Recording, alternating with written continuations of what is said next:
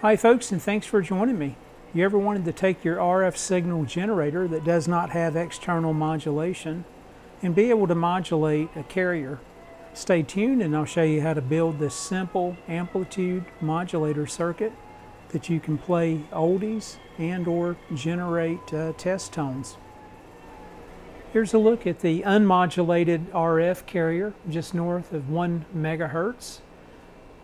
And you can see the uh, modulated carrier here. Again, I'm just driving this with my uh, Bluetooth for this example. And uh, let me just kind of spread it out here so you can see the uh, amplitude modulation. So it uh, works uh, pretty well and adjustable by the potentiometer. And a look at the breadboard layout here a very simple, straightforward circuit.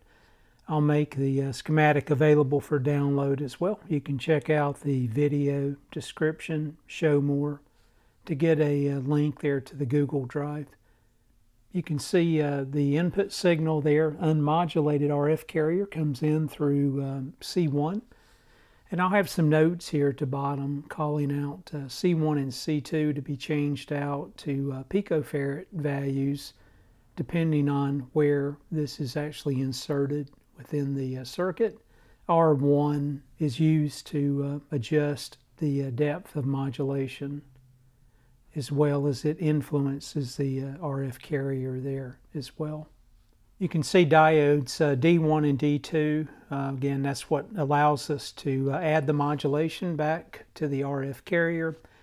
L1, I threw that in there. I'm actually leveraging the self-resonant frequency of the RF choke. In this case, I had a 1 millihenry choke.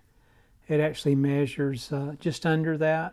So uh, that cleans up the uh, sine wave, and you can see the uh, RF output at that point.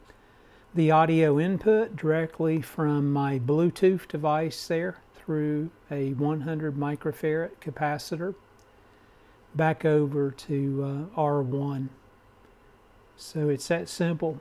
Thought I would share it with you guys. I appreciate you uh, watching. Hope everyone out there is uh, doing well. You take care.